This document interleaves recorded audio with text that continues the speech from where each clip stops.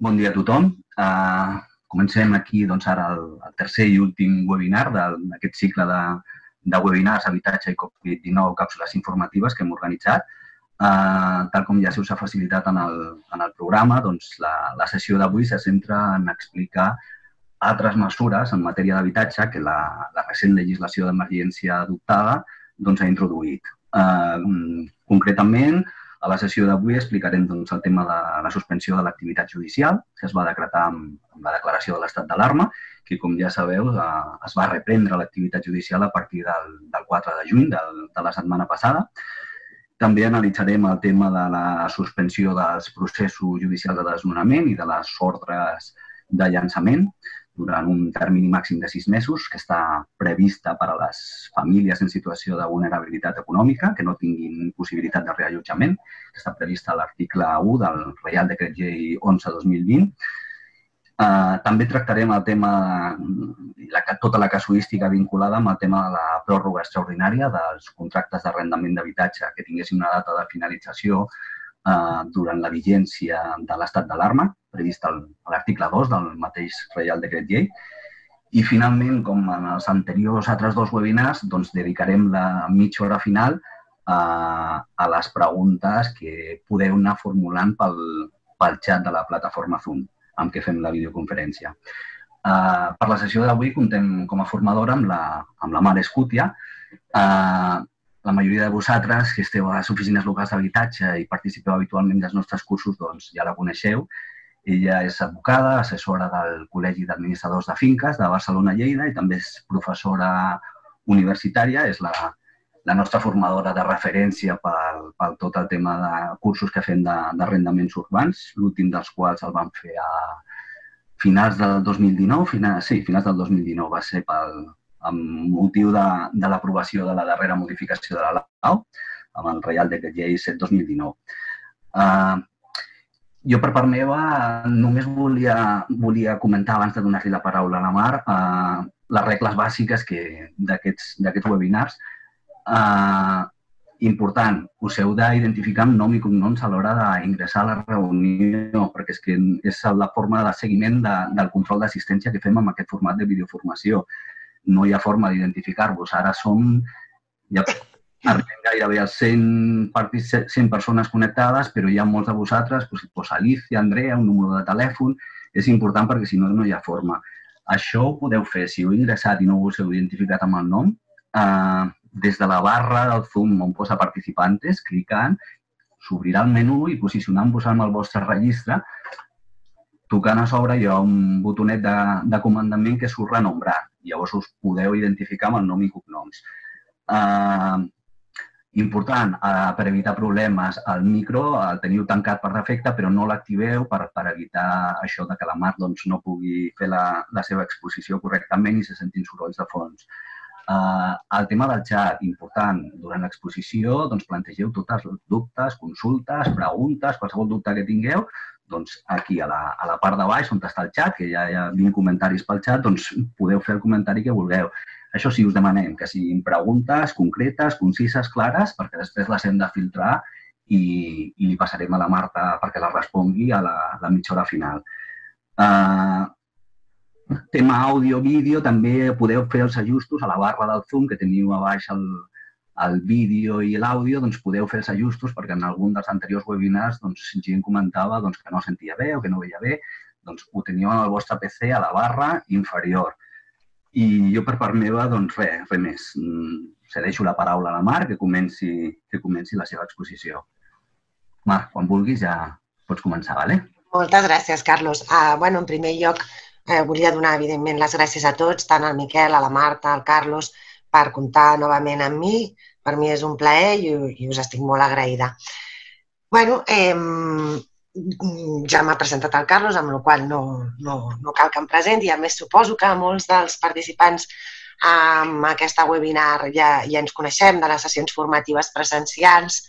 Eh, per mi, ja, jo ja, ja els he explicat, no? Eh, malgrat que durant aquests tres mesos he fet eh, molts formats d'aquest tipus, he participat en moltes eh, alguna webinar, altres tipus de formats. Eh, no, no és el, el, el mecanisme que, amb el que em sento des de l'ou més còmode, suposo que ningú. Però bueno, perquè, com si els que em coneixeu ja sabeu que per mi el feedback amb, amb, el, amb, el, amb el participant és molt important, és a dir, formar el participant és molt important, però aquest format, evidentment, no és el mateix que presencial, que us haig de comptar. Bueno, jo simplement lo dejo ahí perquè, perquè, perquè crec que, que, bueno, que tots som conscients i, i demano disculpes per anticipat si no és lo de sempre. Eh? Bé, com bé ha dit el Carlos, eh, amb aquesta tercera webinar el que es pretén és eh, tractar mm, sobretot dos temes, dos temes que no eh, s'han tractat en webinars anteriors. Eh, el primer d'ells és la suspensió eh, de l'activitat judicial que es va decretar eh, per decret llei 11 barra 2020, concretament en l'article 1, eh, que bueno, és un article que, com, com tots sabeu, eh, decretava la suspensió d'aquests processos, però a la vegada, quan es va quan va entrar en vigor eh, no, no, no l'estàvem aplicant perquè teníem una suspensió de tots els terminis processals. Per tant, eh, diguem-ne que des de la setmana passada ens és eh, nou eh, nou en quant a aplicació, no? eh, aquest article 1. I per una altra banda, el segon aspecte fonamental és eh, l'article 2, article que sí que ja tenim cert bagatge amb la seva aplicació perquè, evidentment, des del dia 2 d'abril doncs això eh, es podia donar, que és la pròrroga extraordinària dels contractes d'arrendament d'habitatge que ve a establir aquest precinte. Per tant, en principi em centraré en aquests dos preceptes, sense prejudici que al final jo he considerat, eh, com a jurista, potser em repeteixo, no? però com a jurista he considerat que hi ha algunes qüestions del Real Decret 11 barra 2020 que obren jurídicament, des d'un punt de vista estrictament jurídic, eh, molts problemes interpretatius. I com que hem estat treballant eh, sobre aquests articles, doncs eh, hem sentit moltes opinions i hem arribat a eh, algunes conclusions encertades o no, perquè la pràctica ens haurà de dir si això realment eh, s'acaba eh, concluint eh, igual que eh, ho hem fet nosaltres. Però, quan dic nosaltres és perquè en diversos àmbits, no? des de com a advocada, com a assessora del Col·legi d'Administradors, doncs hem estat treballant. No? I jo intentaré una mica mm, explicar-vos quines han sigut eh, les conclusions a cadascuna d'aquestes qüestions us ha penjat també al Carlos una presentació. bueno, és una presentació que simplement eh, planteja una sèrie de qüestions a les que jo, durant aquesta webinar, intentaré respondre. Per tant, si algú la vol tenir allà de referència, doncs eh, em sembla estupendo. Si no, suposo que simplement amb la presentació ja la seguirem perfectament i és simplement un esquema o índex.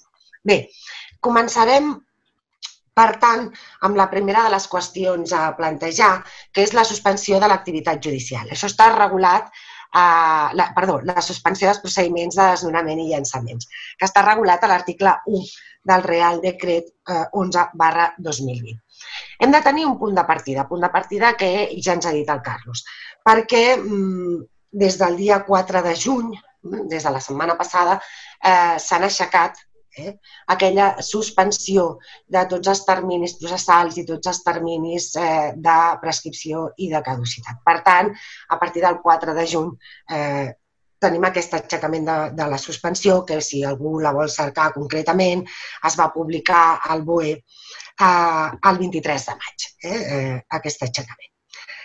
Bé, com a punt de partida també hem de, eh, hem de tenir molt en compte a quin tipus de contractes eh, d'arrendament se li aplica a l'article 1 del Real Decret 11 barra 2020 i s'aplicarà única i exclusivament als contractes d'arrendament d'habitatge. És a dir, queden exclosos eh, d'aquestes suspensions dels procediments de desnonament i dels llançaments, en el seu cas, tots aquells contractes eh, o aquelles demandes referides a contractes de desnonament per ús diferent de l'habitatge, entès tal com a locals o, eh, per exemple, arrendaments de temporada, que com tots sabem, l'article 3 de la LAU els hi dona el tractament d'arrendament per a ús diferent de l'habitatge.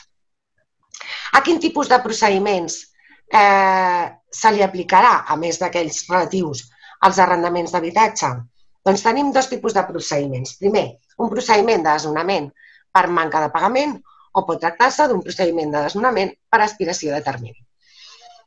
Aquests dos quedarien en principi inclosos dins de l'àmbit d'aplicació de l'article 1 del Real Decret. Però, clar, costa molt d'imaginar eh, plantejar un procediment de desnonament per aspiració de termini quan si es tracta, com veurem una miqueta després, de contractes d'arrendament que vencien des de l'entrada en vigor d'aquest Real Decret fins dos mesos després de la finalització de l'estat d'alarma, l'arrendatari té, conforme a l'article 2, la possibilitat de demanar una pròrroga extraordinària. No té sentit que l'arrendador interposi un procediment de desnonament per, eh, per aspiració de termini quan l'arrendatari té la possibilitat de demanar aquesta pròrroga extraordinària. Mm, per tant, si bé entraria en principi dins de l'àmbit d'aplicació d'aquest article 1, doncs no tindria gaire sentit. Quins procediments no entren dins de l'àmbit d'aplicació de l'article 1? Doncs els procediments de desnonament, per exemple, per precari, eh, en casos d'ocupacions. Mm, per què? Perquè estem parlant d'un precepte que s'aplica als contractes d'arrendament d'habitatge, com ja he dit, i evidentment amb un precari no tenim cap contracte d'arrendament subscrit per dues parts. Tampoc eh, s'aplicarà als contractes d'arrendament de locals comercials. Seguint amb l'article 1, la, formulat en modo pregunta, qui pot sol·licitar aquesta suspensió de l'article 1? Doncs ha de tractar-se d'arrendataris que es trobin en situació de vulnerabilitat econòmica o social, conseqüència de la crisi provocada per al Covid-19. I això és molt important, és a dir, eh, ho deixa molt clar l'article 1 i altres preceptes del Real Decret, i és que haurà de tractar-se d'una situació de vulnerabilitat que es doni a conseqüència del Covid-19. Per tant, hem d'excloure tots aquells casos en què la situació de vulnerabilitat no vingui donada per al Covid-19. I a continuació ens podem plantejar i que considerem com una situació de vulnerabilitat econòmica o social que impedeixi a l'arrendatari o a la seva unitat familiar trobar una alternativa eh, habitacional. Bé, doncs per això eh, haurem d'anar al que estableix l'article 5 del Real Decret 11 barra 2020, on es defineix quan eh, l'arrendatari, estic parlant de moment l'arrendatari, després parlarem què passa amb l'arrendador i si es pot trobar o no en una situació de vulnerabilitat i si això té algun impacte o conseqüència en la suspensió del procediment.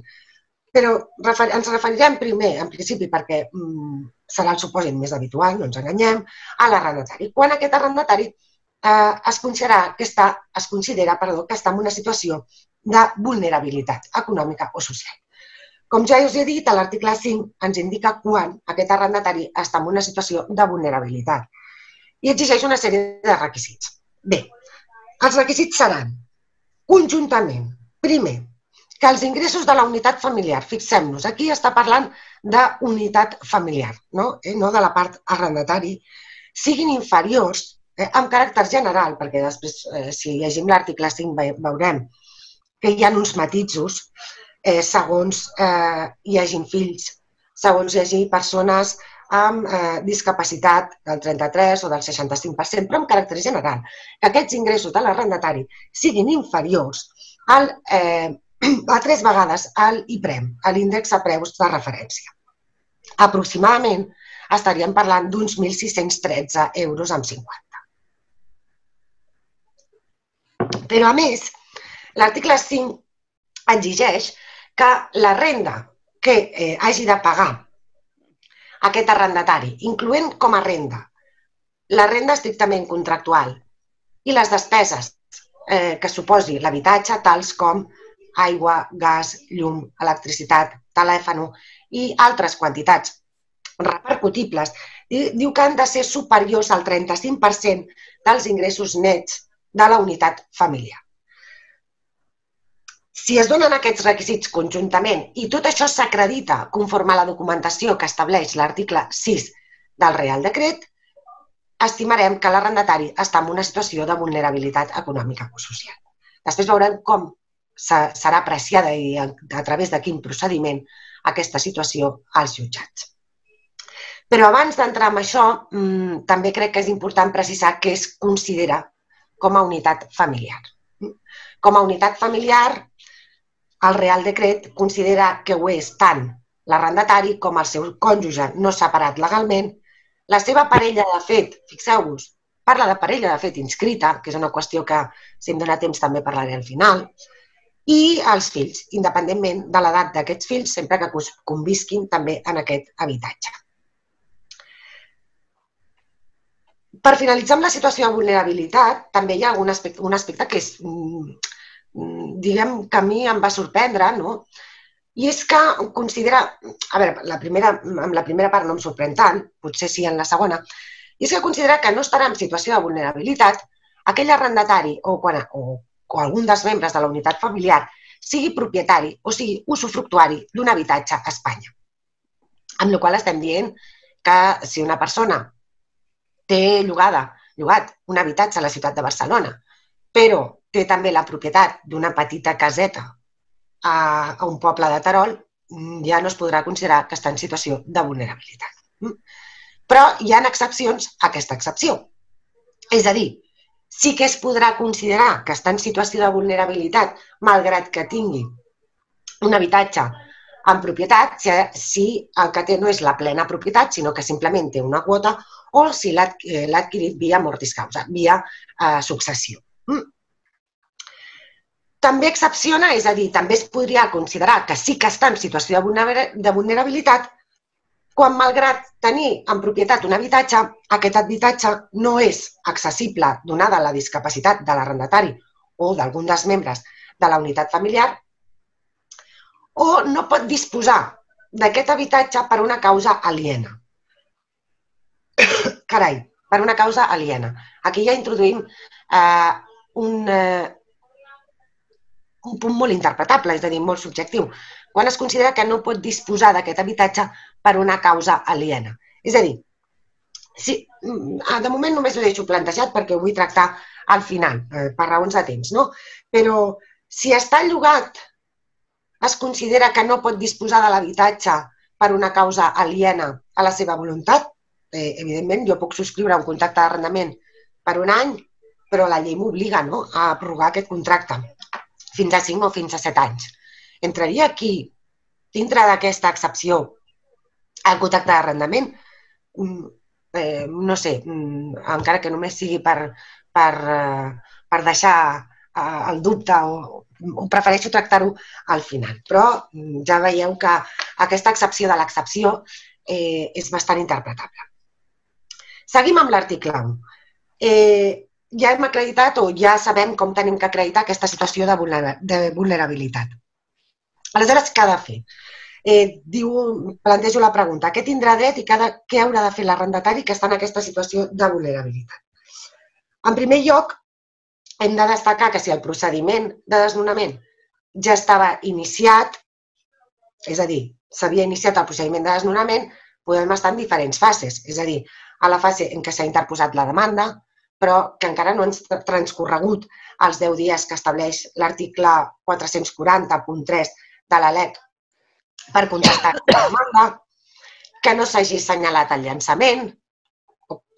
És a dir, tot, en tots aquests supòsits, el que ens diu l'article 1 és que en qualsevol d'aquests punts hi haurà una suspensió d'aquest procediment. Aquí ens hem de plantejar dos preceptes, que és l'article 441.5 i l'article 150.4. Aquests articles mm, establien no, la necessitat de tenir el consentiment perquè el lletrat de l'Administració de Justícia podria, podria mm, pogués contactar o eh, traspassar informació a serveis socials. Si ens fixem ara amb aquest article 1, apartat tercer, amb la presentació de la sol·licitud per part de l'arrendatari, doncs ja s'entendrà otorgat aquest consentiment.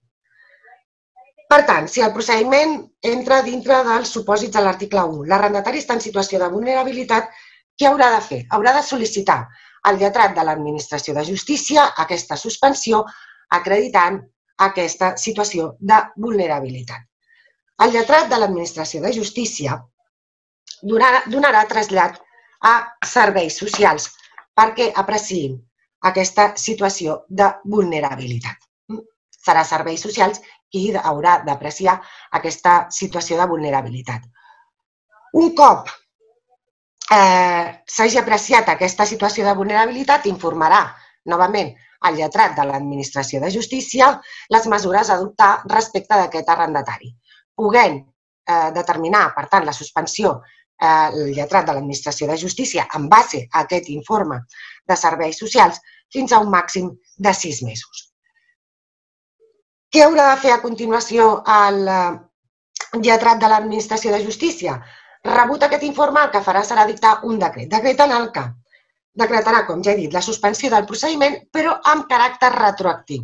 Amb caràcter retroactiu a quan? A quan es refereix aquesta retroactivitat? Doncs al, al moment en què es va produir aquesta situació de vulnerabilitat. En segon lloc, determinarà quin és el termini de suspensió, que com ja sabem és fins a un màxim de sis mesos, però eh, si l'informe de serveis socials considera que ha de ser un termini inferior, doncs, eh, d'acord amb això, el lletrat de l'Administració de Justícia decretarà eh, la suspensió, el termini de suspensió d'aquest eh, procediment. I eh, establirà finalment la reanudació de tots els terminis, per exemple, els dies que poden quedar per contestar la demanda, el, el, el posterior llançament, que segurament ens veurem abocats, evidentment, a que si havia assenyalat un llançament i aquest llançament es va suspendre, doncs haurem d'assenyalar un nou llançament. No? Però eh, el que farà serà decretar la reanudació de tots els terminis un cop finalitzat el període de pròrroga. Aquest és una mica el procediment bàsic mm, respecte a la suspensió dels procediments de desnonament i dels llançaments. Realment, realment, eh, doncs, com us he dit al principi, no? si bé el Real Decret va entrar en vigor el 2 d'abril, doncs no, no, en aquest sentit no n'hem no fet ús, no? els advocats no hem pogut fer ús. Des del dia 4 de juny estem començant a fer ús. Però, evidentment, estem parlant de que possiblement fins a l'octubre del 2020 no hi haurà procediments de desnonament, ni hi haurà llançaments, eh? o n'hi haurà ben pocs. També que planteja el Real Decret a l'article 1 la possibilitat de que sigui l'arrendador el que es trobi en una situació de vulnerabilitat. Ja us he dit abans que potser és el, el, serà el menys freqüent, però també eh, ja preveu aquesta possibilitat en què l'arrendador eh, es trobi en aquesta situació de vulnerabilitat, amb la qual també el procediment és el mateix, haurà de comunicar-lo al jutjat, el lletrat de l'Administració de Justícia donarà part a serveis socials perquè informin, aquest informe de serveis socials tornarà al lletrat de l'Administració de Justícia perquè es decreti el que procedeixi eh, segons eh, siguin arrendador i arrendatari o més arrendador que estiguin en situació de vulnerabilitat. Finalitzo amb l'article 1 amb una sèrie de crítiques.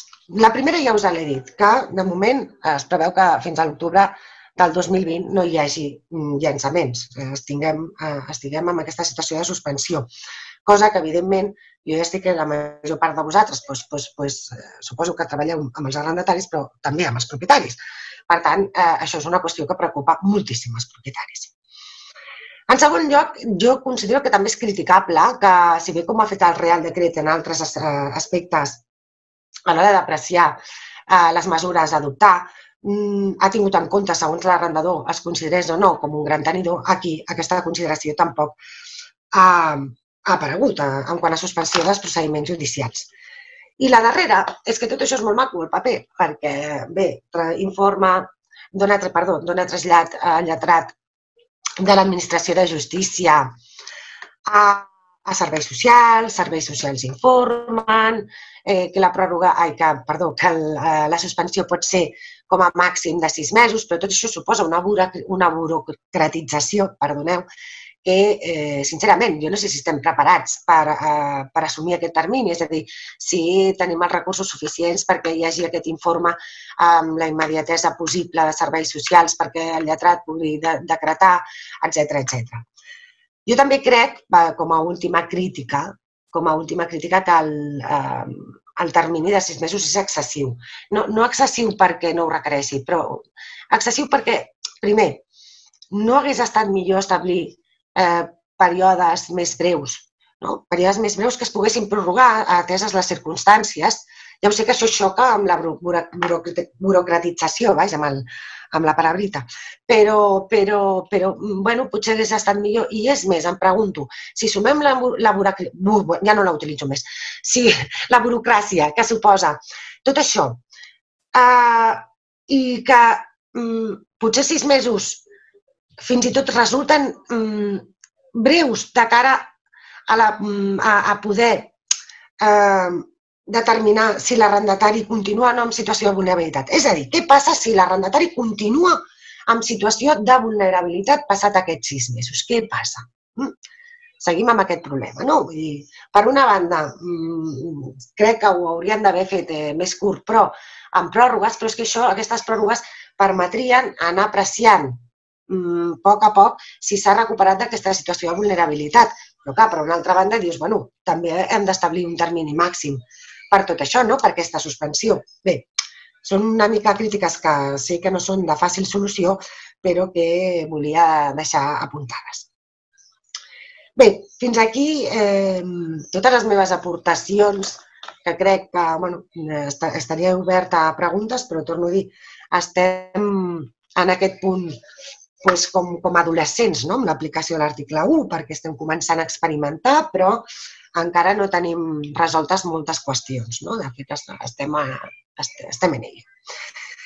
Eh, anem, per tant, a la pròrroga extraordinària dels contractes d'arrendament contemplada a l'article 2.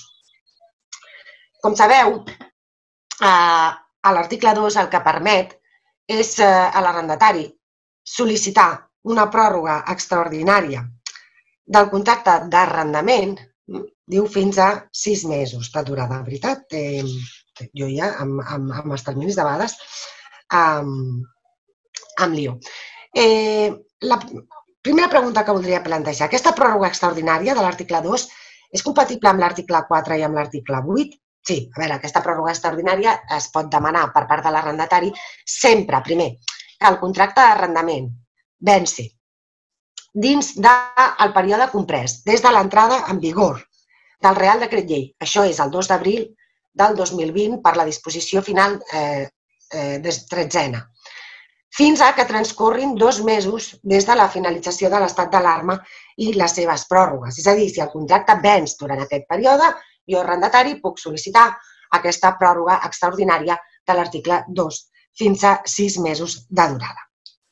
Bé, la compatibilitat amb l'article 4 i l'article 8, l'article 4 i 8, que com ja sabeu també perquè us han parlat en webinars anteriors, eh, contemplen la possibilitat de que l'arrendatari demani moratòries o demani eh, reduccions de renda eh, en condicions diferents segons l'arrendador sigui considerat o no sigui considerat un gran tenidor, està partint d'una realitat diferent. Primer, perquè els articles 4 i 8 parteixen d'una arrendatària en situació de vulnerabilitat i el que pretenen és obtenir eh, ajuts econòmics en el pagament de la renda per l'arrendatari. A l'article 2, la pròrroga extraordinària està contemplant eh, o eh, el que pretén és una protecció diferent. És la protecció de l'estabilitat del contracte, és a dir, que durant tot aquest període de pròrroga, d'estat de, d'alarma, perdó, i de les seves pròrrogues, i amb un termini previsiblement posterior, eh, no tinguem, en aquest cas, extincions de contractes d'arrendament d'habitatge. Per tant, en principi, l'article 2 i els articles 4 i 8 són perfectament compatibles. Ja us he dit que la pròrroga extraordinària de l'article 2 està prevista per a aquells contractes d'arrendament que vencin des del dia 2 d'abril fins dos mesos després de la, de la finalització de l'estat d'alarma o les seves pròrrogues. Vale. Però què passa amb els contractes anteriors? Què passa amb aquells contractes que van vèncer abans del 2 d'abril eh, del 2020?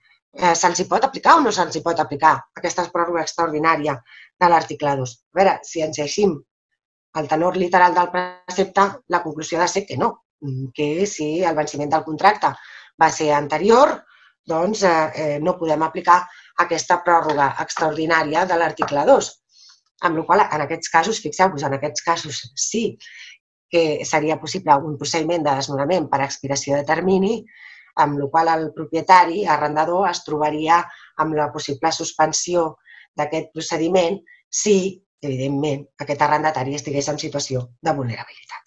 Però, mm, torno a dir, aquí doncs, es va deixar aquests eh, contractes que van vèncer anteriorment, mm, fins i tot, mm, fixeu-vos, eh, dintre d'aquest estat d'alarma, però anteriors a l'entrada en vigor del Real Decret. Una altra pregunta respecte... Deixem un momentet, que bec una mica d'aigua. Diu, què passa si les parts eh, haguessin arribat a un acord diferent? Pot igualment l'arrendatari eh, acollir-se al que disposa l'article 2? És a dir, eh, l'article 2, d'alguna manera, és, dir, és imperatiu o no és imperatiu? Vull dir, la, la, aquesta pròrroga extraordinària. A veure, evidentment que podem estar al que, mm, al que les parts hagin pactat. Si agafem el tenor eh, literal, diu que salvo que se fije en otros términos o condiciones por acuerdo de, de, por acuerdo de les parts. Per tant, si dintre del de, eh, període de vigència de l'article 2, és a dir, des del 2 d'abril eh, fins a eh, la finalització de l'estat d'alarma, que sembla ser que ja la tenim propera, no? Gràcies a Déu, eh, les parts arriben a un acord diferent, el que estarien serien desplaçant l'aplicació de l'article 2. Per tant, mm, prevaldria en tot cas el que les parts haguessin pactat. Mm, he dit quan era el dies a quo, que era eh, el 2 d'abril, l'entrada en vigor, és el dia, el dia inicial del còmput eh, per aquell, pel venciment d'aquests contractes d'arrendament d'habitatge i el dia final, com tots sabem, doncs, eh, ens, ens diu que és eh, dos mesos després de la finalització de l'estat d'alarma i les pròrrogues, si Déu vol, doncs, aquest eh, 21 de juny, excepte, evidentment, que hi hagi nova pròrroga, doncs, eh, fins a dos mesos hi haurà la possibilitat de demanar aquesta, eh, aquests contractes que vencin en aquest període la possibilitat de demanar aquesta pròrroga extraordinària. Una pregunta que ha estat molt freqüent, eh, com a, que m'han plantejat en moltes ocasions, és mm, quins venciments a quins venciments de se li aplica l'article 2. És a dir, quan llegim l'article 2 veiem que que aquells contratos que venzan en este periodo, eh, que, ya, que ya he dit por activa y por pasiva, ¿no? los que venzan en este periodo, eh, conforme al artículo 9 o conforme al artículo 10 son los que, respecto a los cuales se podrà pedir esta pròrroga extraordinària. Però bé, a veure, què vol això? Que si resulta que les parts van pactar un termini diferent, és a dir, imaginem que les parts van pactar un termini de durada del contracte eh, que, que, que era de 3 anys, conforme a la reforma del 2013, com a la pròrroga legal obligatòria, però ells van pactar voluntàriament sis anys de contracte. I aquests sis anys vencen a partir del dia 2 d'abril. Què vol dir? Que no li podem aplicar aquesta pròrroga extraordinària de l'article 6? Què passa si les parts, el contracte va vèncer amb anterioritat a l'entrada en vigor del Real Decret, però voluntàriament van signar una pròrroga d'aquest contracte per un any. I aquesta pròrroga, que no és una pròrroga legal de l'article 9, ni una pròrroga legal tàcita de l'article 10, aquesta pròrroga venç dins del termini, dins del període que contempla l'article 2. Tampoc és una pròrroga legal obligatòria del 9 ni tàcita del 10. La, la meva interpretació claríssimament és que aquests contractes també se'ls ha d'aplicar l'article 2, és a dir, tot aquell contracte que venci, que la seva durada venci, sigui una durada convencional, derivada del contracte inicial, derivada de les pròrrogues voluntàries, derivada de la pròrroga legal obligatòria de l'article 9 o derivada de la pròrroga legal tàcita de l'article 10, es poden acollir a la pròrroga extraordinària de l'article 2. Aquesta és la meva conclusió. Eh, molt breument, perquè suposo que és un supòsit que, que vosaltres no, no teniu tant sobre la taula, penso, no? no ho sé. Però què passa amb aquells contractes, eh, diguem-ne, complexes, no? Eh, contractes com un arrendament a moció de compra. L'arrendament vens eh, durant aquest període que estableix l'article 2. També, mm, si demanem la pròrroga del contracte d'arrendament conforme a l'article 2, s'entén que es prorroga el dret d'opció. bueno, això dependrà de com estigui, perdó, com estigui configurat aquest dret d'opció. És a dir, el dret d'opció és possible que estigui la durada d'aquest eh, eh, estrictament vinculada al contracte d'arrendament o potser no està estrictament vinculada. Haurem d'analitzar cada cas concret. També es planteja molt com a pregunta referent a l'article 2 és, escolti, jo puc eh, durant aquest període de pròrroga actualitzar l'IPC o si es va acordar abans un increment de la renta, puc seguir? Evidentment, és a dir, eh, el que diu l'article 2 és que el contracte prorrogat, aquest contracte respecte al qual l'arrendatari demana la pròrroga de l'article 2, suposarà la pròrroga del contracte amb els mateixos termes i condicions. Per tant, si el sistema d'actualització pactat al contracte era l'IPC, se seguirà aplicant.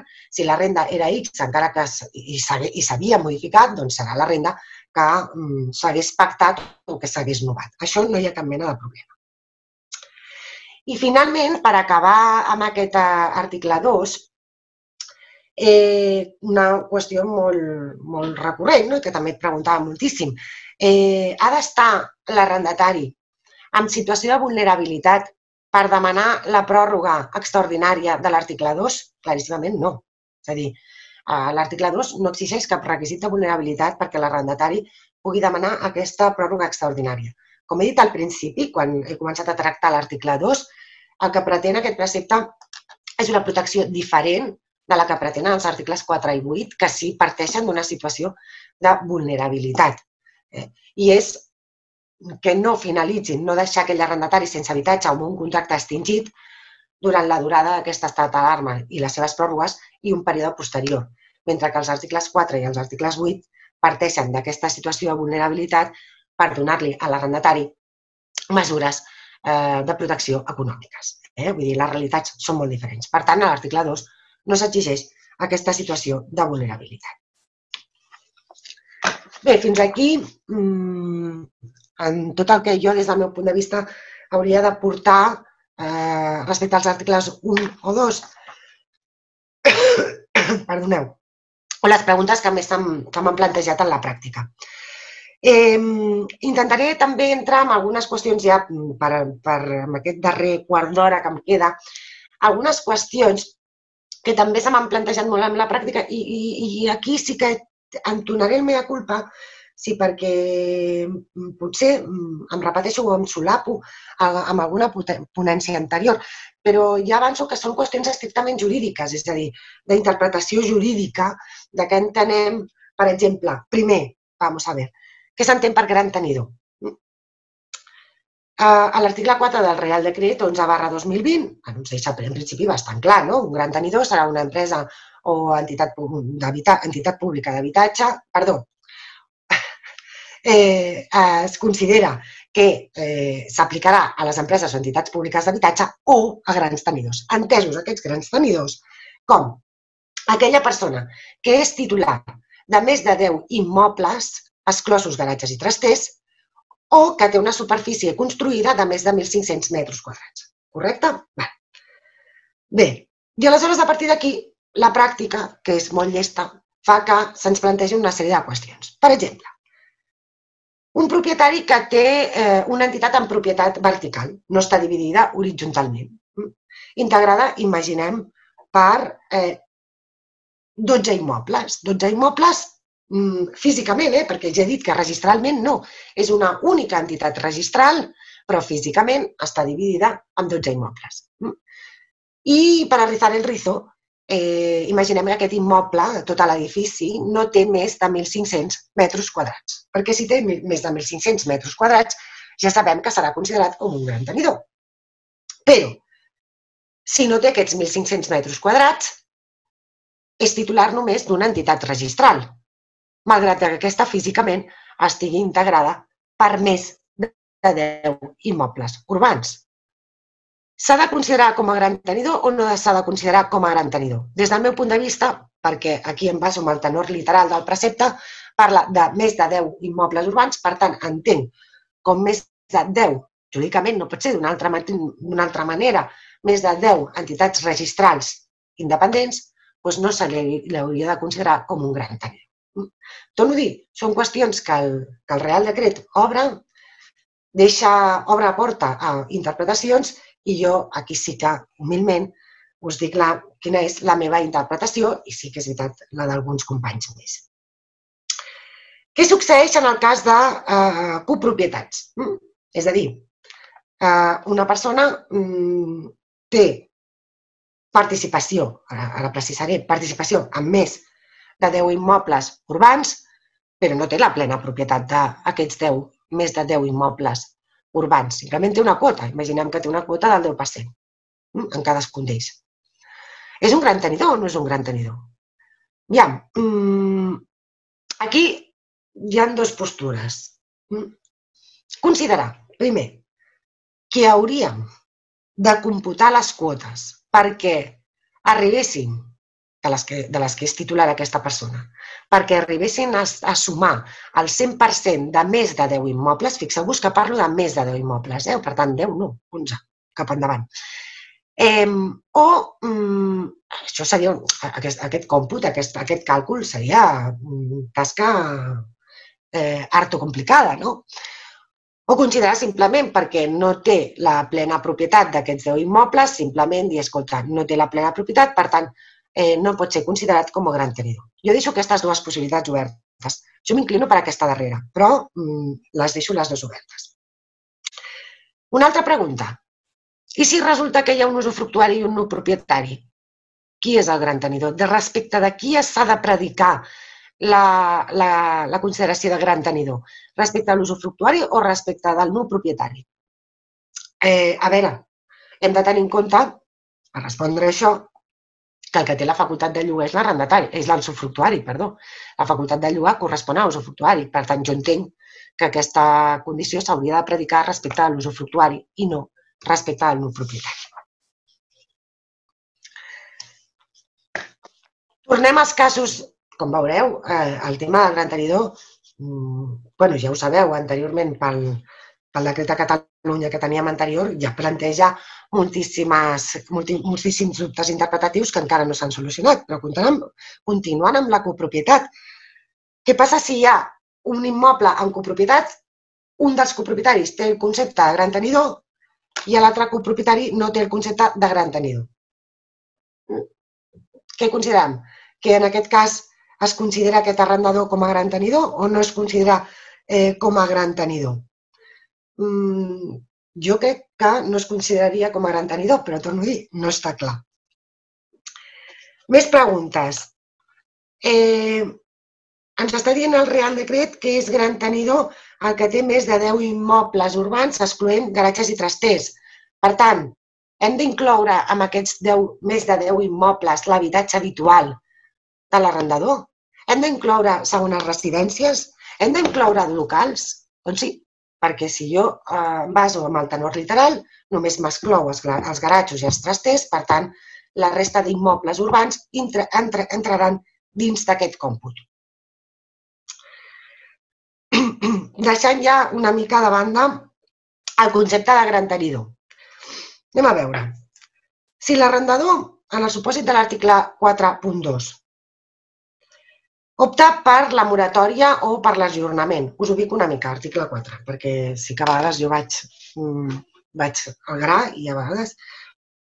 Tenim l'article 4 que estableix eh, la possibilitat de l'arrendatari en situació de vulnerabilitat de demanar a l'arrendador una moratòria o un ajornament en el pagament de la renda. Que l'arrendador ha de expressar la seva decisió o l'opció en el termini de 7 dies. Bé, imaginem que l'arrendador opta per otorgar aquesta moratòria o aquest ajornament a l'arrendatari. Ajornament que diu que serà que s'haurà de, de liquidar, és a dir, les quotes no abonades durant aquesta moratòria ser, hauran de ser abonades durant un termini màxim de 3 anys. Pregunta que sempre, bueno, molt recurrent també, escolti, però si el meu contracte d'arrendament li queda per vèncer, li queda per vèncer un any, jo no, li tinc que ajornar les quotes durant tres anys, de forma que passarà, que aquest contracte s'extingirà i encara tindré un crèdit amb aquest arrendatari pels deutes que en el seu dia li vaig ajornar? No, no, no. Perquè si jo em llegeixo l'article 4, diu Eh, dicha renta se aplazará a partir del siguiente, de la siguiente mensualidad de renta rentaticia, mediante el fraccionamiento de las cuotas durante al menos tres años, que se contarán a partir del momento tal, tal, tal. Y siempre dentro del plazo a lo largo del cual continúe la vigencia del contrato de arrendamiento o cualquiera de sus pròrrogues. Per tant, exigeix que aquestes quantitats ajornades s'abonin posteriorment, evidentment, després d'aquests màxim quatre mesos, s'abonin, però sempre fraccionades dins dels mesos que restin de vigència d'aquest contracte. Espero haver-me explicat, no? però és que és una pregunta bastant recurrent. Eh? Sempre dintre del període de vigència. No podem deixar o no estem obligats a deixar quanties pendents una, un cop finalitzi el contracte. També una altra pregunta respecte d'aquest article 4 és què passa si l'arrendador no contesta en aquests set dies. És a dir, l'arrendador, l'arrendatari li demana un ajornament o moratòria o una reducció de la renda i l'arrendador mm, no contesta en aquests set dies. Bé, en aquest cas eh, hem de diferenciar. Si l'arrendatari a, la, a la notificació inicial o li demana aquesta moratòria o aquest ajornament ja es va posicionar, és a dir, jo vull que vostè m'ajorni la renda o vull que em, em concedeixi una reducció de la renda, doncs si l'arrendador no contesta en set dies, s'haurà d'entendre acceptada la petició de l'arrendatari. Si, en el cas de que no s'hagués manifestat, hagués dit, escuche, poso la moratoria o, o la reducció, lo que usted elija, però l'arrendador no contesta en set dies, doncs s'entendrà que ha decaigut amb el seu dret d'escollir entre una opció i una altra i jo el que li recomanaria a l'arrendatari és que tornés a notificar a l'arrendador i escollís directament ell i ja està, sense que en aquest cas, perquè han passat els set dies de l'arrendador, pogués modificar aquesta opció de l'arrendatari. També eh, una pregunta molt recurrent en relació als articles 4 i a l'article 8 és si aquesta moratòria o reducció és obligatòria per l'arrendador.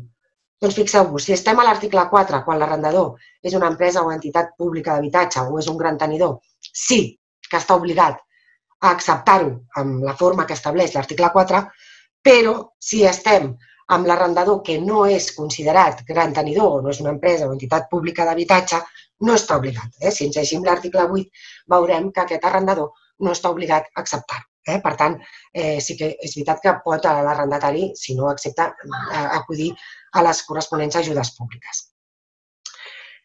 Bé, seguim. Uh, I ja acabo, eh? Ja acabo, amb algunes qüestions puntuals.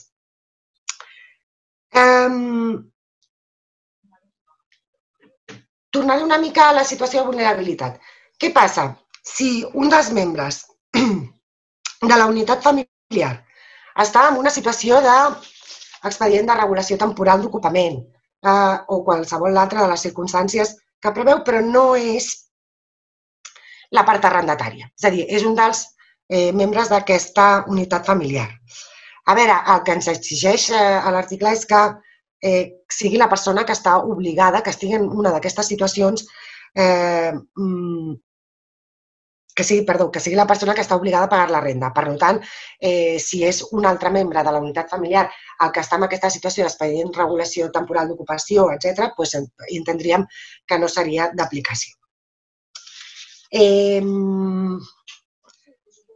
estic una mica seleccionant de les que em queden per no, per no passar-me de temps. També, en quant a la situació de vulnerabilitat, Eh, què passa si l'arrendatari està en una situació de vulnerabilitat però no, ho està com a conseqüència abans, és a dir, no ha estat conseqüència del Covid-19? Doncs, evidentment, eh, amb tots els preceptes s'exclou eh, que mm, la vulnerabilitat vingui donada per una causa diferent a la del Covid-19. Per tant, si la situació de vulnerabilitat ja venia d'abans, no, no entraríem dintre d'aquest paquet de mesures. Finalitzo amb això mm, perquè són dues qüestions que havia deixat apuntades pel final. Primer, eh, què passa si una persona és titular d'un immoble a Espanya però aquest immoble està arrendat? Ja us he dit, això, el fet de que estigui arrendat i que jugui la pròrroga legal obligatòria de l'article 9 suposa que eh, és una causa aliena a la seva voluntat i que, per tant, malgrat eh, tenir un immoble llogat a Espanya, eh, eh, sí que es podria considerar que està en situació de vulnerabilitat. A veure, la qüestió és molt interpretable, eh? la qüestió és molt interpretable. Mm, mm, sentint altres companys eh, i altres argumentacions, sí que hem arribat a la conclusió consensuada, diguem, de que mm, en aquests casos el tenir un immoble arrendat no és una causa aliena a la seva voluntat, per tant, es consideraria com a propietari d'un immoble, no entrant dintre de cap de les altres excepcions, no es podria considerar en situació de vulnerabilitat. Ara, a veure, mm, jo, vull, jo tinc els meus dubtes i són seriosos, eh? perquè el fet de que eh, l'immoble estigui arrendat eh, si jo vaig pactar un contracte d'arrendament, com us he dit al principi, d'un any, en què la llei m'obliga a prorrogar-lo eh, obligatòriament fins a 9 anys, eh, jo no el puc recuperar. Per tant, no el puc recuperar per una causa aliena a la meva voluntat. I si algú em diu, no, bueno, però tu el vas jugar voluntàriament. Ja, sí, jo el vaig jugar voluntàriament, però el vaig jugar voluntàriament fora, en tot cas, de la crisi ocasionada pel Covid-19. Per tant, eh, ojo, mm, aquí tinc, torno a dir, dubtes seriosos. I finalment, i amb això ja acabo, eh, quan parlem de parella de fet, de, de parella de fet, clar, mm, ens sorprèn a Catalunya, no? que tenim um, el nostre propi règim jurídic i tots sabem quan es constitueix una parella de fet, no? una parella de fet acreditada per la Constitució en escriptura pública, eh, com a parella legalment constituïda en escriptura pública o per dos anys de convivència acreditada o sense ella, si hi ha descendència comuna. Clar, mm, aquesta parella, de fet, si no està inscrita, quedaria fora de l'àmbit d'aplicació d'aquest Real Decret, cosa que des de... et sorprèn, si més no sorprèn. Eh? Bé, doncs, um, he intentat ser puntual, crec que, que ho he aconseguit, eh, per deixar pas, perquè considero que és molt important el, el vostre torn de preguntes i que em pregunteu en tot això, de tot això o de tots aquells aspectes, això sí, relacionats amb matèria arrendatícia, que, que, és, que és el meu. Moltes gràcies. Sí, moltes gràcies, Marc, uh, per la teva exposició i per ajustar-te al temps. Uh, avui, a diferència dels altres dos webinars, no hi ha masses preguntes. Només perquè he anat filtrant hi havia tres preguntes. Si Carai, quin èxit que he tingut, no? Ho tenen tot molt clar. Ho tenen tot molt clar. En qualsevol cas, ara mateix, si voleu formular qualsevol consulta, encara esteu atents a través del xat o, si de cas, també teniu l'opció d'aixecar la mà i, i, mira, ens podríem saltar el protocol normal i, i obríem el micròfon i ho plantegeu directament. Ja direu. Però, bueno, en principi et formulo la, les que estan registrades. bueno, de Sant Celoni comenten que ja, que ja tenen desnonaments aquest mes, Res, un simple comentari. Referit també a la suspensió dels desnonaments, eh, pregunta, entenc que el termini màxim de sis mesos és des de l'entrada en vigor del Reial Decret Llei 11-2020, no des de que s'acredita. Ho has entès, Marc?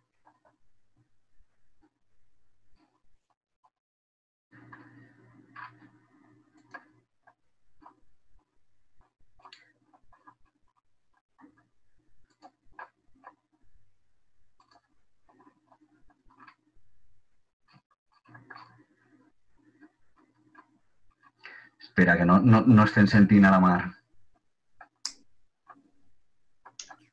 Ara.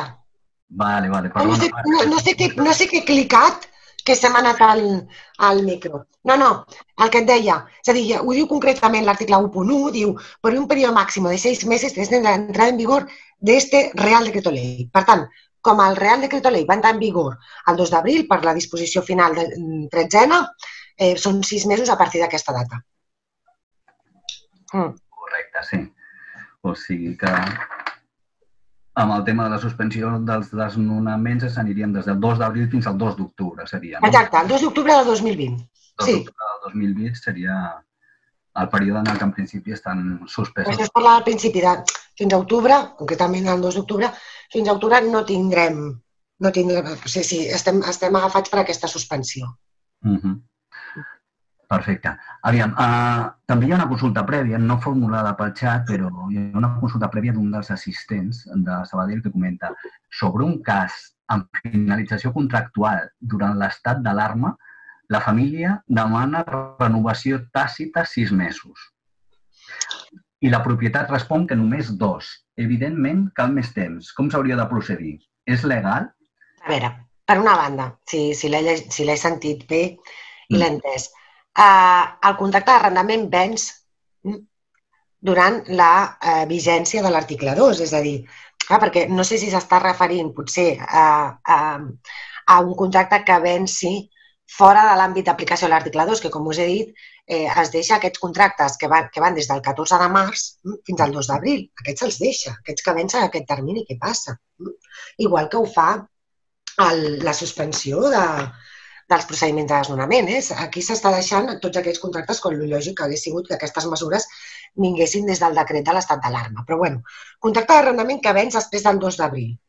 Si el contracte d'arrendament venç després del 2 d'abril, a l'arrendatari té dret a exigir la pròrroga eh, extraordinària de l'article 2.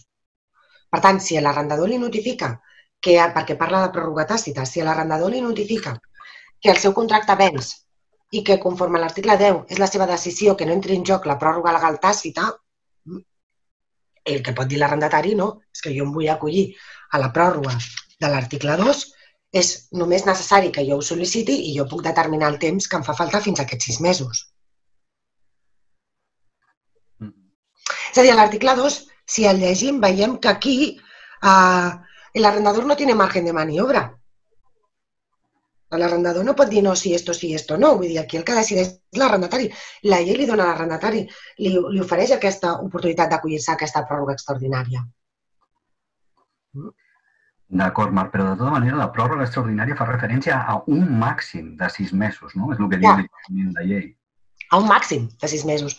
Però si jo directament et dic, fixa't que a més no està parlant ni de, ni de vulnerabilitat, és a dir, que si hi hagués vulnerabilitat sí que dir, hauríem de dir, home, doncs això eh, hagués establit que potser que serveis socials s'apreciessin aquesta situació concreta de vulnerabilitat i quin és, quin és com, com passa eh, amb, amb la suspensió dels procediments i quin és el període que considera necessari de pròrroga. Però aquí no. Aquí està dient que per un període màxim de sis mesos. Per tant, l'arrendatari li pot dir, bueno, com si li pot dir, directament 6, com li pot dir 3, i després, després prorrogables dos més en, en funció de l'article 2. No té cap sentit establir terminis més breus si jo tinc dret a reclamar com a màxim 6 mesos. Si jo necessito i vull 6 mesos, mm, jo entenc que aquí l'arrendador no té marge, no té mà per dir-li no, tu no. Entesos, Marc. D'acord. O sigui, que està en manda la sol·licitud que faci a l'arrendatari. Exacte. Exacte. I que ja, tot, ja dic jo que totes són de sis mesos. D'acord, perfecte. Doncs crec que ja ha quedat resposta.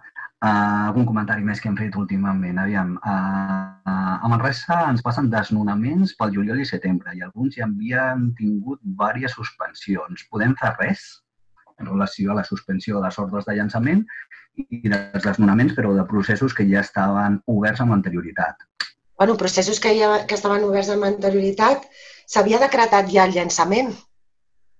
Que la pregunta és, si s'havia si si decretat ja el llançament, sí que és veritat que aquí el dubte que, que ens ajuixeix és que aquells que estaven ja al llançament decretat i, i es va suspendre en aquest punt és que immediatament es pugui presentar un escrit al jutjat. Jo no tinc tan clar, eh? per això immediatament es pugui presentar un escrit al jutjat per la renovació dels terminis, perquè això és una cosa que es va produir abans.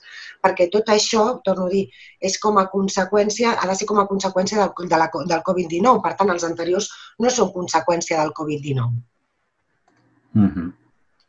Però torno a dir, mm, de, a veure, aquí jo tinc arguments Mm, es, es, lo, es lo que tiene de bueno que las cuestiones sean interpretables, eh? eh que fas moltes ponències per aclarir qüestions i la segona és que tens eh, interpretacions a la davant del jutge. Però, eh, evidentment, si jo fos l'arrendador, alegaría, no, no, perdone, esto es anterior al COVID-19, es un procedimiento que simplemente se suspendió pendiente de lanzamiento, pero que eh, eh, debe re reanudarse. O digo, no, mm, es que realmente se está refiriendo a la suspensión de todos los lanzamientos, por lo tanto, pues que se suspenda también este, ¿no? Hasta que no transcurra este periodo. Perfecte, uh, bueno, tenim entre els assistents el eh, José Antonio López, que és un dels ponents que va, que va, inter va intervenir en, en l'anterior webinar. Mm. Estava fent un comentari de que de que volia, de que volia participar en relació amb tot el tema judicial, el que estaves comentant, perquè sí. té alguna apreciació a fer. Allà vale. podem, li podem donar accés? Sí. Sí, Antonio? no sé si ara, Carla. Hola, José Antonio. Sí, sí. Hola, sóc jo. Què tal? Encantat. Igualment. Bueno, Mare, en primer lloc, eh, felicitats, eh? No. Molt, molt entenidor tot, m'ha agradat molt. Mira, et volia comentar un, un parell de coses, aviam sí. quina és la teva opinió també. Mm. Eh, comentaves en relació a aquells, eh, aquelles persones que poden estar en situació de vulnerabilitat o aquelles persones sí. que poden estar i alguns de nosaltres de la família tenen una, un habitatge arrendat. Sí, vale? sí. Jo, eh, personalment, crec que mm, fins i tot eh, en, un, en una ponència que vaig estar, que hi havia algun lletrat de l'Administració de Justícia, al sí. final es va arribar a la conclusió que realment el fet de tenir eh, l'habitatge arrendat no, no hauria de ser causa d'exclusió. I sí. el, el raonament em va agradar bastant perquè era el següent, és a dir, l'article que diu literalment és se exceptuará de este requisito también a quienes, siendo titulares de una vivienda, acrediten la no disponibilidad de la misma sí, per la por sí. o por cualquier otra causa ajena a su voluntad. Ells entenen que eh, és alien a la voluntat perquè si no s'hauria d'haver regulat una causa de desnonament el fet de jo estar en situació de vulnerabilitat i necessitar aquest habitatge. És a dir, no s'ha no fet cap mena de regulació per la qual jo, estant en situació de desnonament, pugui, per la meva voluntat, desnonar del meu habitatge que sí que podria fer servir. Per tant, la disponibilitat no la tinc, és a dir, no hi ha causa legal de desnonament. Suposem que la persona a la qual jo tinc llogat l'habitatge no és una persona que estigui en situació de vulnerabilitat. Uh, Soc jo. Jo, jo, jo, jo, jo, jo, jo us he comentat que aquest tema és un tema que, que, vàrem, que vàrem discutir molt i que realment eh, que és el que, no sé si s'ha entès, però que l'opinió consensuada era que, que efectivament, que, que no entrava dintre de l'excepció de l'excepció i per, la, per tant no es podria considerar que aquesta persona que té un habitatge arrendat eh, es consideri en situació de vulnerabilitat. Però, eh, clar, el tema és la interpretació. Què vol dir això? Que no tenga la disponibilitat de la misma per una causa ajena a su voluntat. A veure, la disponibilitat és un, és un termini molt ampli i, mm. evidentment, també l'hauríem de referir una mica a la possessió de l'immoble eh, la possibilitat de recuperar aquesta possessió de l'immoble. Jo, evidentment, no puc recuperar aquesta possessió de l'immoble.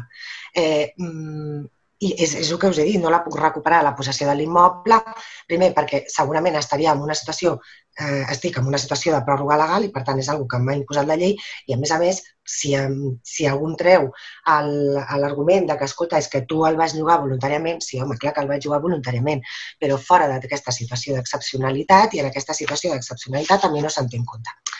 Ho dic amb, amb, els, amb... Sí, sí, que el terme disponibilitat, evidentment, és molt més ampli que la possessió, que es pot ser, però aquesta causa aliena a la seva voluntat, jo crec que no té claríssimament la disponibilitat eh, de l'immoble, el problema és si és per, no, per una causa aliena a la seva voluntat. No sé, mm, és molt interpretable, eh?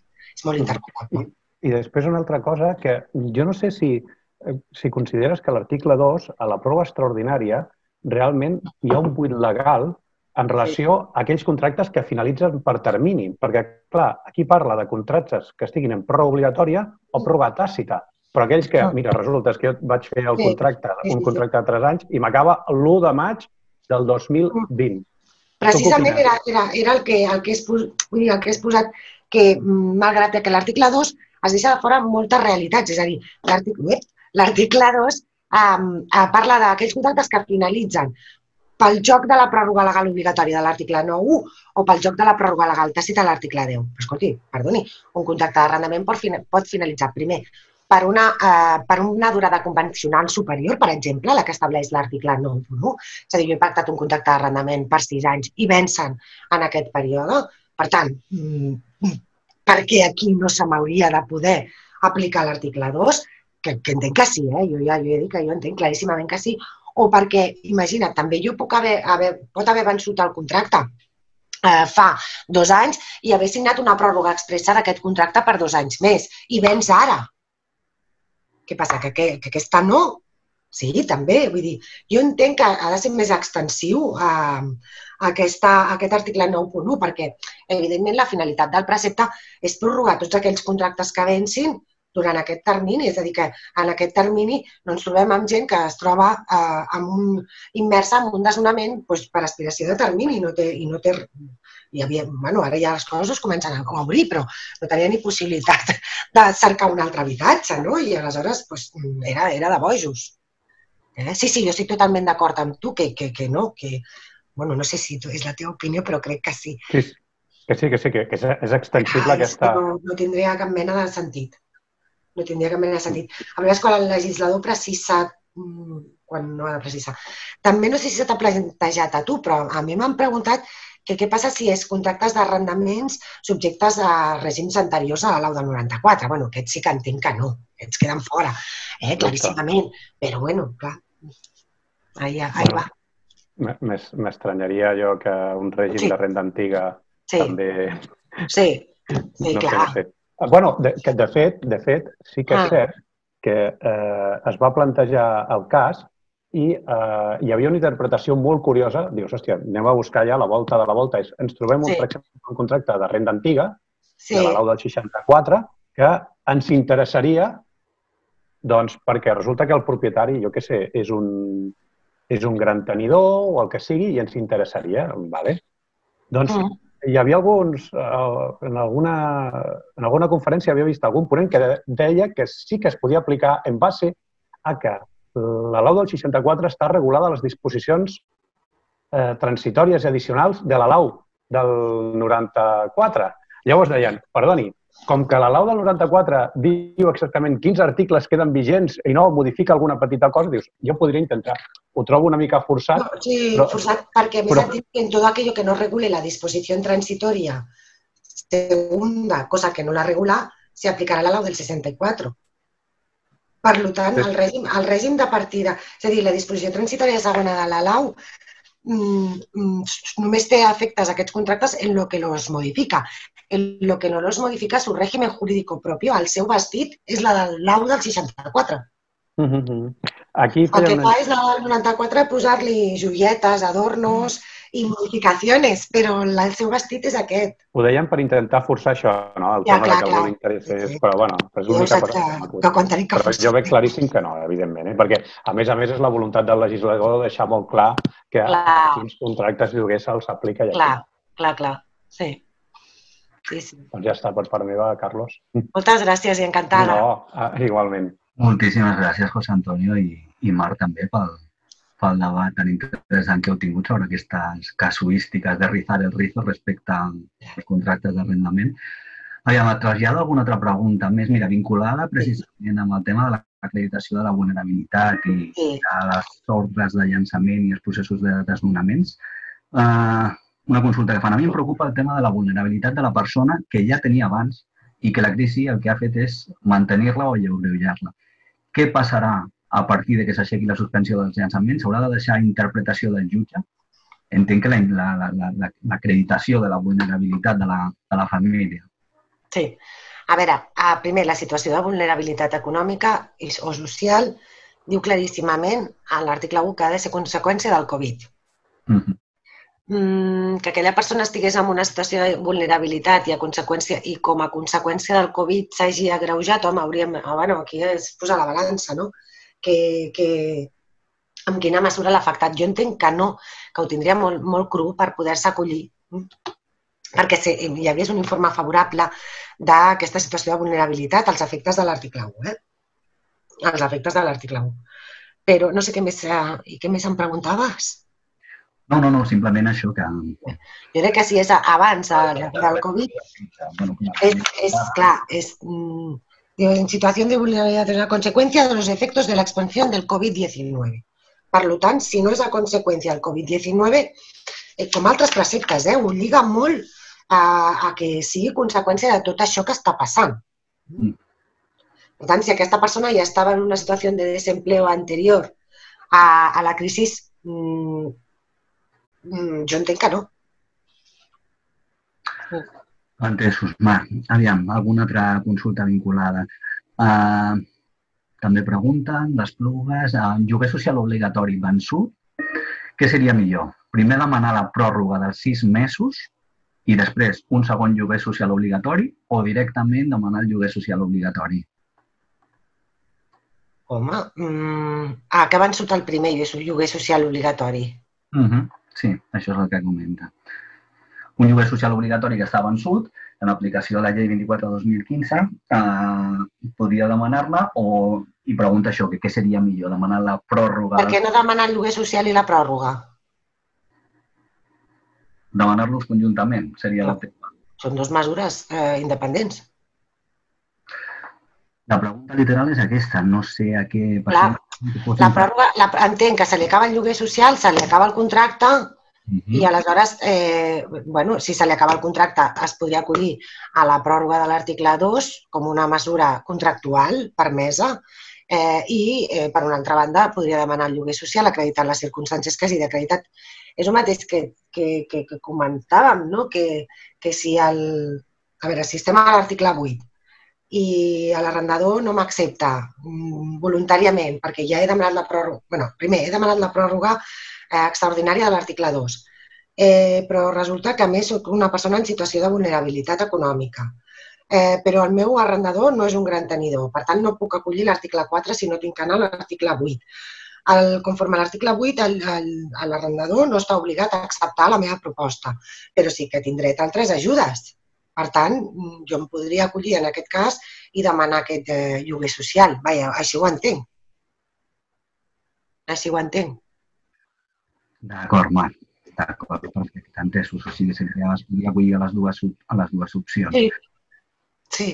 Que com m'ho has plantejat així d'inici, com A o B, jo, perdó, però per què no A i B? No? No, clar, això demanaven, perquè clar, són temes tan controvertits que demanaven al principi que fossin precisos i concrets en les preguntes. Jo llegeixo literalment, intento... Bueno, que no, no, que no t'estic dient a tu, eh? Disculpa. Vull dir que, que com que la pregunta és A, a o B, al principi m'ha descol·locat, no? Perquè dic, home, jo a primer diria A i B. Vale, ja m'has bé per curar en salut. D'acord, aviam, alguna altra pregunta que està entrant ara també? Bueno, una que ens fa una estona era simplement fer un recordatori que comenta no m'ha quedat clar que si el llogater i el propietari compleixen requisits de situació de vulnerabilitat, mm. què passa? Bueno, Realment el procediment és el mateix. És a dir, si hi ha una sol·licitud eh, mm, de l'arrendatari d'estar en situació de vulnerabilitat, presenta al lletrat de l'Administració de Justícia la documentació acreditativa i dona trasllat a serveis socials. Però què passa si a la, a la vegada resulta que l'arrendador també està en una situació de vulnerabilitat? Doncs això serà el mateix procediment, tot arribarà a serveis socials i aquí serveis socials haurà d'adoptar, o haurà, no adoptarà, sinó que haurà d'emetre un informe tenint en compte les dues situacions. O almenys del redactat així es dedueix. És a dir, no pot ser que no tindria sentit que un expedient n'és per una banda i un altre expedient n'és per una altra. Perquè estem afectats a la mateixa... És, o sigui, està, està, és la mateixa situació. És aquest un procediment de desnonament en què es veuen implicades dues parts, dues persones que estan les dues mm, en situació de vulnerabilitat. Perfecte, Mar. Moltes gràcies. Havíem una altra pregunta que plantegen ara des de Torelló Uh, te la llegeixo literalment, eh, perquè no m'ha donat temps tampoc ni a, ni a processar la informació. Uh, un contracte signat l'1 de maig del 2014, amb una vigència de 5 anys. Vale. L'arrendador l'any passat no volia renovar el contracte. Tot i això, va prorrogar-lo per un any. És correcte? Sí. A veure, aquest contracte és de l'1 de maig del 2014, ai, del 2014, exacte, amb una vigència de 5 anys, no? Sí. Vale, va finalitzar a l'1 de maig del 2019. Però es va prorrogar un any més, és a dir, l'1 de, maig, de maig del 2020. Ah, per tant, vens, és el que parlàvem amb el José Antonio, vens aquesta pròrroga durant la vigència o el període que contempla l'article 2, eh? des del 2 d'abril, a partir del 2 d'abril, 2 de maig, perfectament eh, dintre de l'article 2. Per tant, aquí, que era el que comentàvem amb el José Antonio, hauríem d'entendre també inclòs aquest venciment perquè l'arrendatari pugui també, en aquests casos, demanar la pròrroga extraordinària.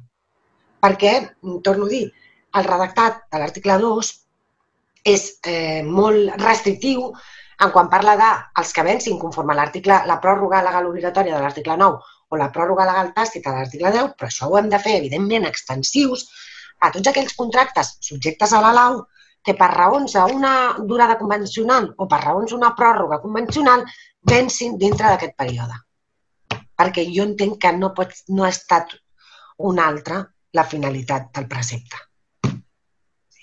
Que incloure'l. Espera, espera, perdona, Marc, perquè és que després també ha ampliat aquesta mateixa consulta, sí. un altre afegit que posava en relació amb aquesta mateixa pròrroga, sí. o sigui, el contracte signat l'1 de maig del 2014, vigència de 5 anys, 2019. Una pròrroga d'un any. La pròrroga finalitzava el 30 d'abril del 2020. Sí, exacte. Té dret a acollir-se ara a la pròrroga dels sis mesos o el contracte se li prorroga per llei tres anys? A veure, vamos a ver. Hem de diferenciar.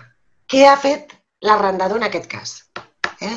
Si el contracte vencia el 30 d'abril del 2020, a l'arrendador li tindria que haver notificat amb l'antelació prevista a l'article 10, en aquest cas als 30 dies eh, estem parlant d'un contracte subjecte al redactat de la LAU amb la reforma del 2013, per tant, amb l'antelació prevista en aquest redactat eh, a l'article 10 i dir-li, escolti, mm, se li acaba el contracte i vostè, mm, jo no vull que operi la pròrroga legal tàcita. A veure, ens parla de tres anys, que no em quadren, perquè per la data de subscripció del contracte original és un contracte subjecte a la lau del 2013, malgrat que es va pactar per un període superior de cinc anys. Eh? Per tant, el redactat de l'article 10 no és el de tres anys, sinó que el redactat de l'article 10 és d'un any. Mm. Vale? Però la pregunta seria aquesta. L'arrendador li ha notificat a vostè que no vol que entri en joc la pròrroga legal tàcita de l'article 10? Si li ha notificat, aleshores sí que vostè té el recurs d'acollir-se a la pròrroga extraordinària de l'article 2. Mm? Però si l'arrendador no li ha notificat res, entra en joc, com sempre diu, no? que caiem de peus i mans a la de dintre de l'article 10. Per tant, escolti, per què ha de demanar vostè la pròrroga extraordinària de l'article 2 si ja té la pròrroga legal tàcita de l'article 10 i per un any en aquest cas? Sí? S'ha entès? Sí, jo crec que sí, sí que se t'ha entès perfectament, Marc. Uh, pues, la veritat és que no hi ha cap més, no hi ha cap més pregunta. Estic filtrant ara pel, pel xat, però no veig que hagin formulat cap més pregunta últimament. pues no sé, la veritat. Si no, no sé si teniu, si hi ha algú, a veure, Uh, oi que aquí se puede levantar la mano o... Sí, es pot fer, es pot fer. Si algú, no sé, dic jo. Si algú vol plantejar alguna... Sí, és el que comentava abans. Si algú vol plantejar alguna pregunta... Sí, uh... mira, veig aquí l'opció d'aixecar mà, pues, si algú que està connectat vol plantejar alguna qüestió, doncs cap problema. Veig que no. Bueno, pues en tal cas, bueno, són ara la 1.23. En principi, sí. la prevista era d'una hora i mitja, doncs uh -huh. principi, ara mateix encara hi ha 104 persones connectades, hem arribat a ser 106. Sí. Uh, pues ho deixaríem ja aquí si no hi ha cap més consulta. Gràcies per la col·laboració i la participació de, de tantes persones que heu seguit uh, tot el cicle de webinars. Us donarem trasllat de tota la documentació. El el material que comentava la Mar abans eh, ho teniu penjat amb el Llesforma, a l'aplicació la, web de gestió de la formació. Igualment, també via correu electrònic i via comunitat virtual eh, us farem retorn de, dels materials de tots els dels tres webinars, també amb el model de pregunta-resposta que s'ha formulat. I intentarem, però estem mirant aviam la possibilitat també amb els vídeos de, de compartir. Tenia, a veure, espereu, espereu un moment, Carlos, sí. perquè si entre tot amb la meva paperassa, mm, ho dic perquè jo no us ho puc proporcionar perquè, perquè està, però està obert. A la web del Col·legi d'Advocats teniu el formulari de sol·licitud al jutjat vale? eh, d'aquesta suspensió del procediment. Ho dic perquè hi ha les diverses opcions, segons, segons estigui o no assenyalat el llançament, però com que ho teniu allà, que els companys lletrats, que, que a vegades dius, ai, a veure, doncs ho teniu penjat a la web del Col·legi d'Advocats. Eh? En obert, a més, eh? vull dir, no, qualsevol que vulgui accedir ho pot fer. Mm -hmm. Perdona que t'hagi interromput. No, no, no, no, no, no, perfecte, Marc, perfecte, si és que d'això es tracta. I aquí, com que no, no estem presencialment, tot és més complicat pues bueno, pues, eh, tal com comentàvem, tanquem aquí el, el tercer i últim webinar. Gràcies, Marc, i, i gràcies a tots els participants. I, i com comentàvem, doncs, que tota la documentació la, la compartirem, us la farem arribar i també a nivell de preguntes-respostes de, de tots els dels tres webinars que han sortit perquè tingueu constància de tot. gràcies per tot i si no hi ha res més, doncs ho deixem, ho deixem estar aquí. Moltes gràcies, Carlos. Gràcies a tots.